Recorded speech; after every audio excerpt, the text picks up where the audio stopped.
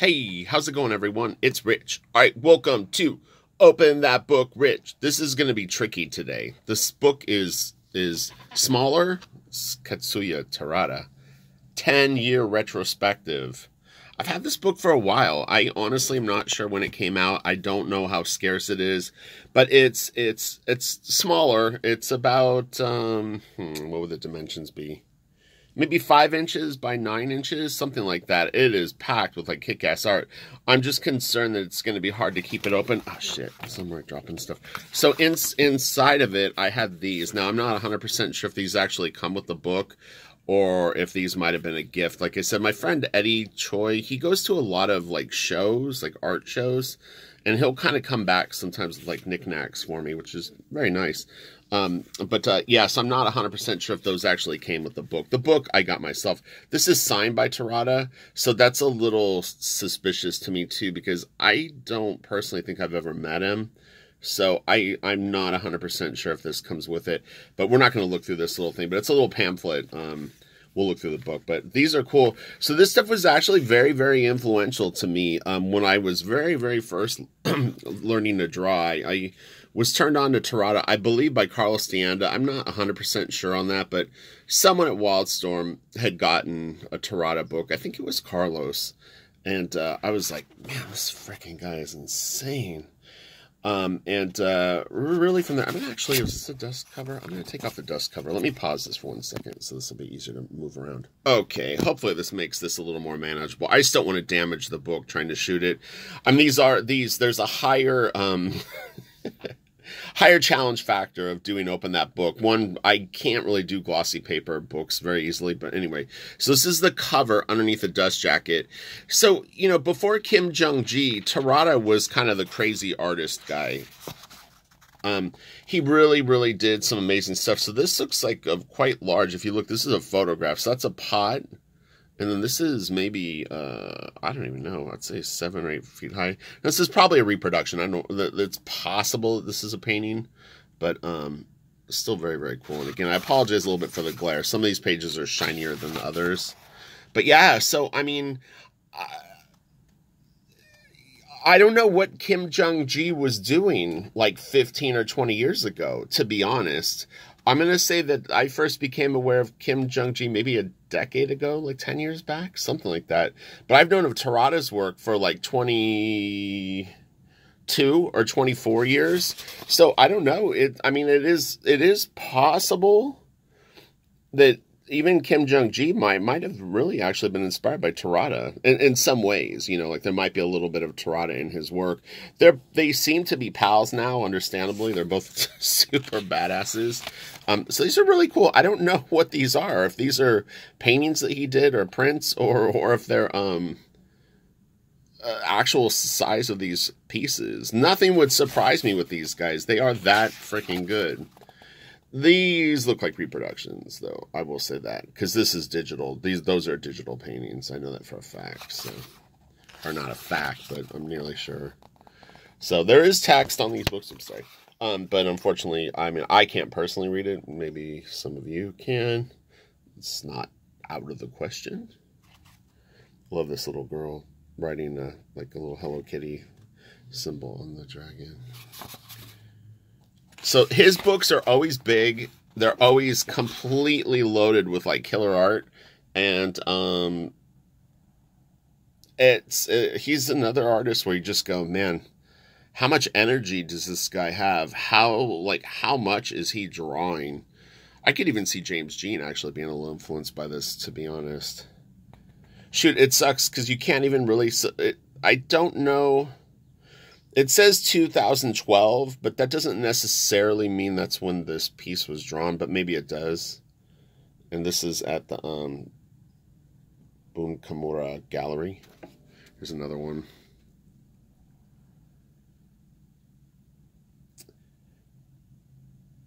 But I have I have four or five Terada books. There's quite a few more. I mean, there was a point where I was like, I uh, Carlos had this one called um, oh, what was it called? Something King. It was like a like just sketches, like Raku King or something like that. I can't remember the name of it, but it was just uh, it was the, it was huge book. It was just all sketches. It probably would be very interesting for me now as a penciler. At the time, I was just like, it it doesn't all look the same to be clear, but but I mean, you start to see a lot of this type of material, and and I mean, you know, it's a lot to take in. So I was like, I think I've got enough Terada right now. I'm I can't even absorb what I'm what I already own, but now I probably would would uh, enjoy it more because it's like you know again i kind of always refer to these books as like vitamins for your eyes. Again i apologize for some of the um that's really cool. I like that guy a lot. These are very very tiny little drawings. I know it might not like seem very clear but i mean these are literally about the size of like a finger. I'm talking about like your thumbnail so they're real tiny on the page. This is a full page. He he does let me, I'm going to pause this one more time. I'm going to try to turn off this light. We'll see if this makes a little less glare. I turned off the desk light that's directly over the book. This is really nice, though.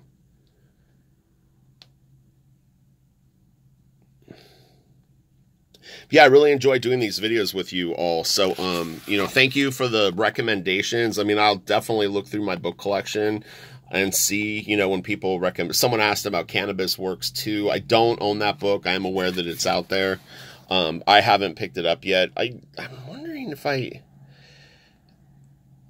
I feel like I've seen it, so I might have had a PDF of it at some point, but um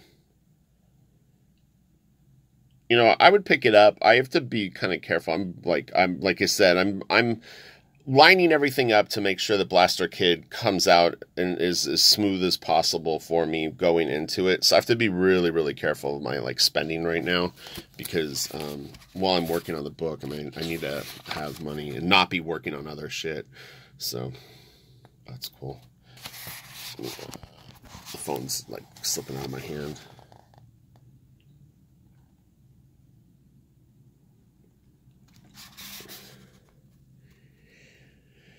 Yeah, you know, this summer, next year, I'm talking about us is nice. Man, these hands are great.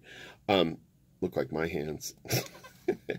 20 years of drawing will tear up your hands. Although I'm always impressed by artists that have worked a long time and their hands aren't completely mangled. But I don't know, like, my hands are fried. Um, uh, but yeah, this this upcoming Comic Con, I'll definitely pull the trigger and buy a whole bunch of new books because um, I'm selling stuff, so I'm kind of making room.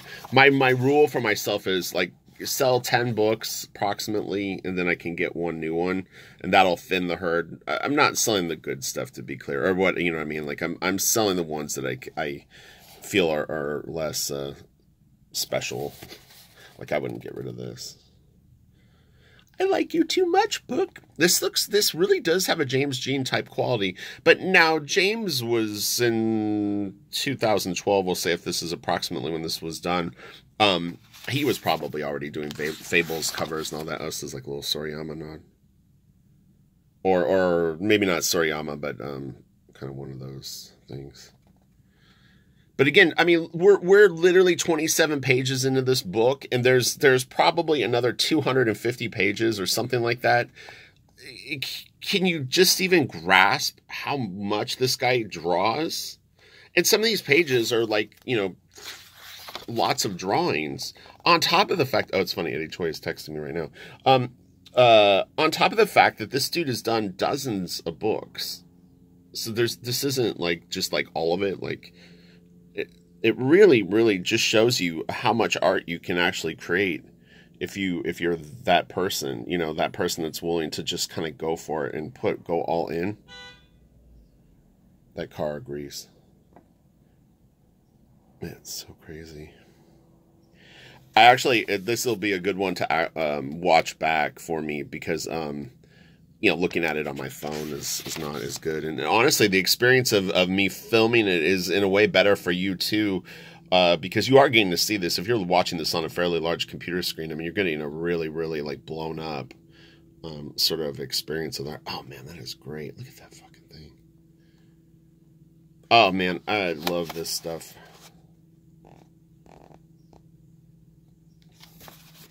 This is cool.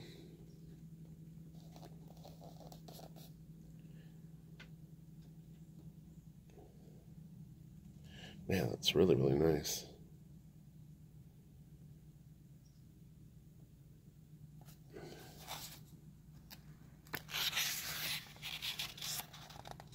After this page, I'm going to pause it for a second. You won't really notice it, but I need to set the phone down. My um, arm is getting kind of like tired. I must be at a weird angle or something. I'm not really realizing it. This is cool. I have a whole book of stuff similar to this. I can't remember what this character is called. It's been a while. Um, but uh, he did a story with, I want to say, God, what was it? It's like not Cinderella, but like one of those. Maybe it's not Little Red Riding Hood. Sleeping Beauty. What was it? It's really, really a dark retelling of it, though. So he does do comic book stories. So hold on, let me unpause this for a second. Rest my arm. Okay, I figured out what it was. Is I didn't have my back supported, so I was sitting at a weird angle. I I, th- I thought something was that, but I was like so into like shooting video. So I guess he did some Marvel. I don't know if this is fan art or if they were actually like published cards. It's funny. This actually reminds me a little bit of like an Eric Canete drawing. Not not like literally, but um, kind of the layout has a little bit of a Canete vibe. Uh, what was I going to say? Oh, uh, looking at this, like it's like I was when I was taking the break. I only stopped the camera for maybe like a minute, but uh, I was looking at my bookshelves. I was like, it's time to reevaluate what I've got in my office right now because I have I don't know how many books, maybe a few hundred. I don't know, maybe it's more than that. It's it's hard to say. But anyway, there's an amount of books in here, but it's not even close to like how many I own. But you know, do you ever do the like book shuffle where you're like, all right, I'm gonna retire these books from like my studio and I'm gonna grab out like this other batch of stuff, but I'm like, I need to grab more of my Terada and bring it in here because this is, looks like good stuff for me to be looking at right now.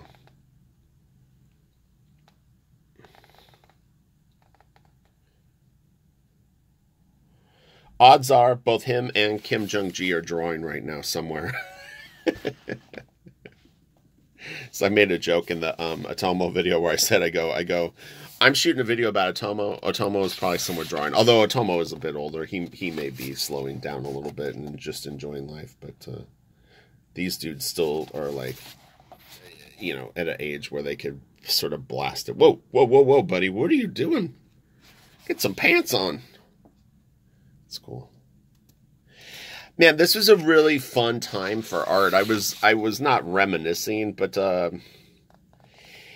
when concept art really started to kind of blow up and things like this started to become, at least on my personal radar, I would say honestly, I was early to, to adopting a lot of this stuff only because of the fact that I worked at Wildstorm. I mean, I, I credit the people that were around me, not myself. But anyway, I got exposed to a lot of like really good stuff. But it was a really, really fun time and very creative. And, and social media hadn't like exploded the way that it did. So it felt a little more special, which kind of did make it neat because it's like, you know, you would, um, you know, like Carlos Huante would come on your radar, and then it was like very exciting to like get the one Carlos Huante book, and you you didn't really have the ability to just run Instagram and sort of like see you know a thousand images of of all this different stuff. So it kind of like I don't know. I think it's great that we can we can see everything so quickly, but I also think that it sometimes maybe affects people's attention spans. I've talked about this before, but uh, Trent Reznor said in an interview one time, and I actually think it was very, very true because I remember the same experience. Is when when we didn't have the internet and we didn't have such easy access to all this stuff, you really, really had to dig deep into the things that you owned, whether they were good or bad. And he he used the reference of buying an album, and sometimes when you would buy a record, especially back then uh, you know, there'd be like two or three really good songs, and then the re- the rest of the record wouldn't be so good. But it was all it was all you had, and so you would really try to find just any kind of value out of the songs that sucked. It sounds like a weird thing, but I actually do think that it it somehow stretches you as a creative person to dig deeper. Whereas uh, I I see it with people that I do lessons and reviews to, not not all, but some, is they can't seem to focus. And I think they're just over that sounds kind of weird, overstimulated. You know, they just have too many options. They don't know what they want to do. And I mean, that's like a natural thing for an artist anyway. And then imagine having so much material thrown at you just da- daily you know? It's it's probably one of the reasons i'm not on social media very much is i i just find it distracting. I don't really need to look at that much different stuff or even take in just that much different information each day.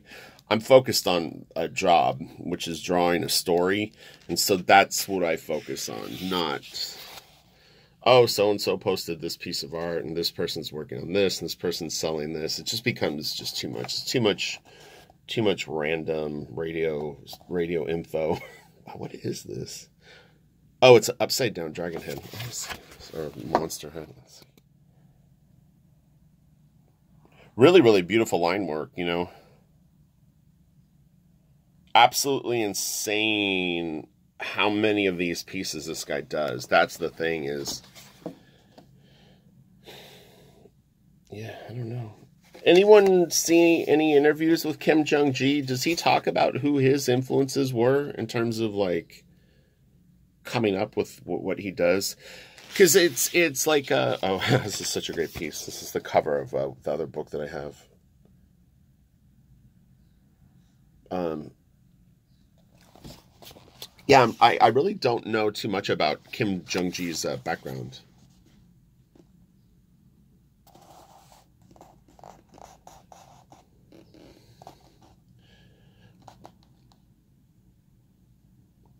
Yeah, hopefully this is fun to check out.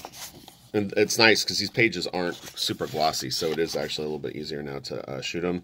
There was just a small section that was on um, slicker paper, we'll call it. Terada is definitely influenced by Bisley. I, I I'm not sure that you will see it necessarily in these pieces, but it's reminding me of of other pieces that I've seen by him. But he definitely definitely is a fan of Bisley, and Bisley is is a small part of um, his. Uh, sorry, I'm just gonna switch hands here. Uh, is a small part of his um, build up. I used this tech for so long, not like literally like ripped it off, but there was a lot of his technology that I was incorporating into my own stuff uh, back in um,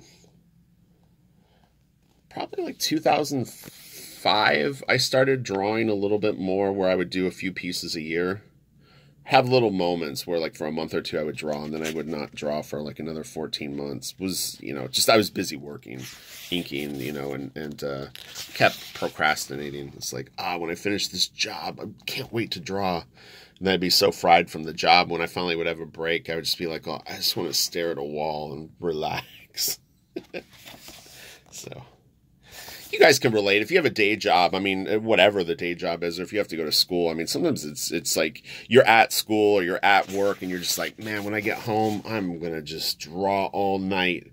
Then you know, five or six o'clock rolls around. I find the biggest mistake, in, in particular for me back then, was um, uh, I needed to draw in the morning more. I've, I talked about that, that I finally figured out that the idea of coming home after a full day's work wasn't going to work. It was almost better if I went to bed early and got up early and drew. That, that seemed to keep me doing it more.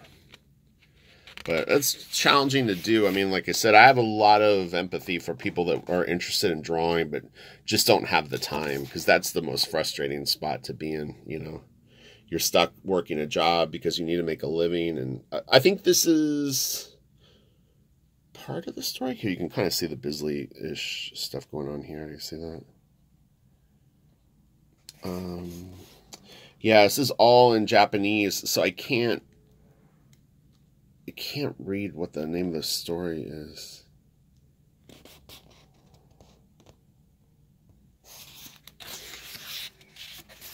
The pages uh, I mean, this might be a slightly different story than the one I'm thinking of in my other book, but um, the the other pages I think are not just monochromatic colors; they're they're actually um, more colors. But this doesn't look like the story that I'm thinking of. Okay, some of this stuff is like sort of softcore porn. I'm gonna skip over this um, just because I don't really want to get this video blocked, but uh, he does some badass stuff. Actually, a really really good book from um, Kim Jung Gi is the uh, what's it called? Omphalos. I it's like adult content, so if you're sensitive to that kind of thing, you might want to avoid it. But I think it's one of the more interesting books that he's done, just because it's it's way more over the top in terms of like what he's drawing. Um, but I like I I really liked. I was I was saying on a Patreon video yesterday that uh someone had asked me what do I think about like art as a um exhibition, meaning like like that you perf- like perform with your drawings and uh, I, I said that uh, you know I subscribed to the SuperAni channel on um, YouTube, and uh, for a while, like they were they were uploading or not uploading, but they would go live with like Kim Jung Gi drawing. I really enjoyed it. I would just watch it and like play guitar, or you know, um, and I, I found it quite quite interesting to watch him draw. It's fun to try to guess what he's gonna do. It's going to be a dragon's arm coming out of a tiger's face with uh, people and all sorts of curvilinear five point perspective. it, is we're 86 pages into this book this guy has drawn more than most people draw like in 10 years although this is a 10 year retrospective but you know what i'm saying this is a lot of work shooting the video is a lot of work. Look at this. Man, it's so cool.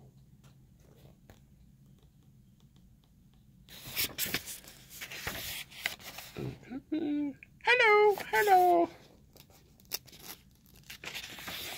Oh, I love this piece. Yeah, so these are muted colors. This piece in the other book is really, really colorful. I actually love this one, in fact. it was one of my favorites. Um, but yeah, this is not true to the actual colors. They put like a like a light filter on these and kind of changed it.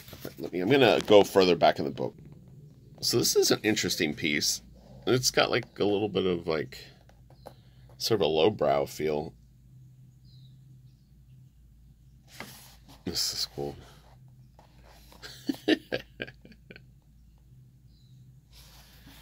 Okay. I saw this. I thought this was interesting. Sorry. Uh, in the Tomo Kaba 2, you'll you'll see some bicycling um, pieces. In fact, it's really similar to this one. I'm like tripping, kind of. But yeah, really, really cool. This is a beautiful, beautiful drawing.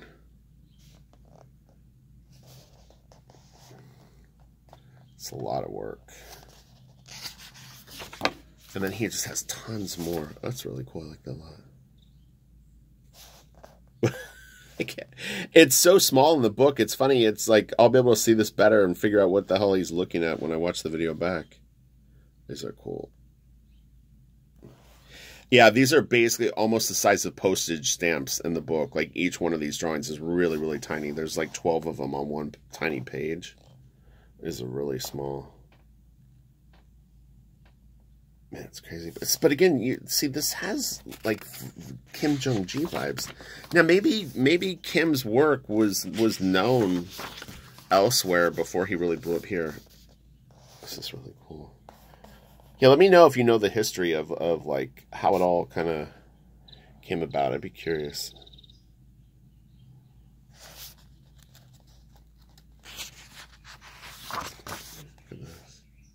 This is really cool spread.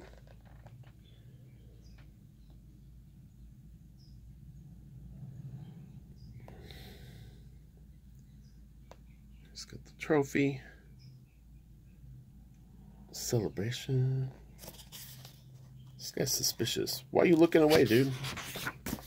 What are you doing? What are you up to? Look at these little guys. These are real tiny, too. If you haven't seen Carlos Huante's work, I would actually recommend it. I had mentioned him a while ago, but some of the stuff is reminding me of some of Huante's stuff. But yeah, that was a real golden age of. um That's so dark. A, a real golden age of um, concept art, and just everything was so exciting and Um, these are so small. I'm gonna skip over them because it's they're they're so tiny to look at. here's some more of these. We'll end it with some bigger pieces. This is nice.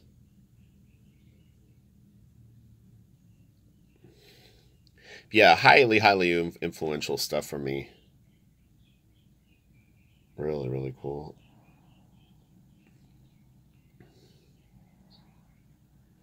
Good stuff.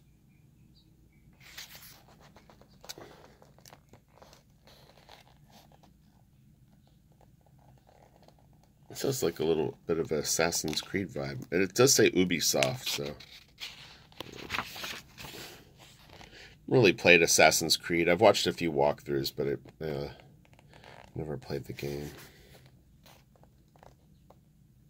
It does look fun.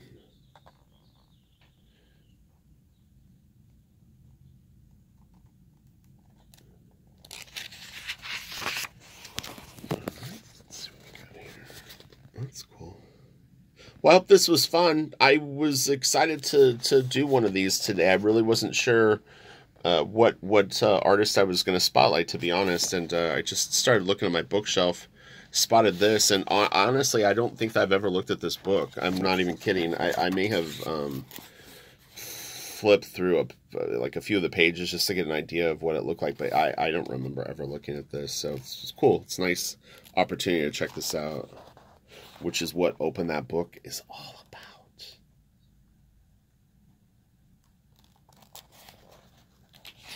Some people are going like, how the fuck do you have this book and you never looked at it? I'm a busy bee. That's just how.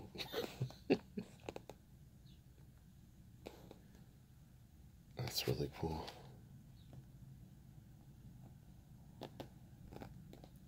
I think that they did a statue of this character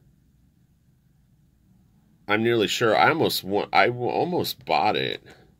I don't know if it was based on on his design or if he's drawing another character, but I'd seen a statue of this character. I, re- I remember, and uh, I was really tempted to buy it. There's these Chinese knockoffs that they sell on eBay, but I know they're going to be garbage, so it's like not worth the heartbreak of weird resin pieces that are like copied from, you know, I mean, like other molds.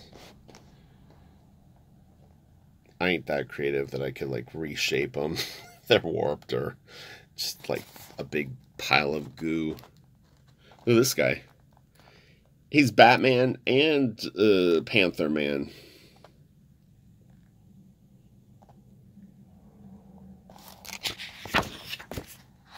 Some of these pages are really dark. Like, hopefully they're not too dark to see, but.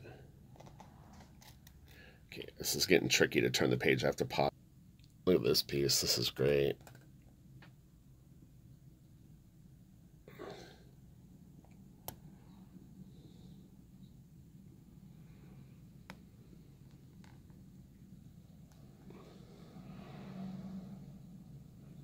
I, like I said, it's I have to pause to switch each page now because the um, the book wants to close saw these. These are kind of interesting. So these are like um, they look to be white uh, white ink on uh, black paper. Pretty cool. I've always wanted to do um, the black paper drawings with like colored pencil. Um, so once I'm finished with Crystal Planet, I'm going to be able to experiment a lot more with um, fun fun drawings and you know try to cater a little bit to social media. I was kind of talking about that yesterday in the um, Patreon video yeah, I had done a like a 90 minute. I do a question and answer every month for Patreon, and uh, we did it yesterday, but it was an hour and a half um, of uh, that. But uh, you know, social media is important. I'm just kind of taking like a brief hiatus, uh, except for YouTube. But um, yeah, you know, I'll I'll be back on Instagram or whatever. I was saying I, I kind of hope something replaces Instagram soon. All right, God, I can't turn the pages without putting down the camera. Hold on. Okay, so we took a look at this book. This is by Katsuya Terada. Beautiful, beautiful art. I think this is a fantastic piece to end on. Man, it's badass. Look at that. We've got lions, we've got boobs, we've got some sort of creepy cloud creature. And then a cool looking female character. Like the cat's eye, that shine on it's nice. Yeah, this is awesome. All right, you guys have a great day. I'll talk to you later. Uh, I might do super fun Sunday. I might not. We'll see. But all right, I'll talk to you guys soon. Bye.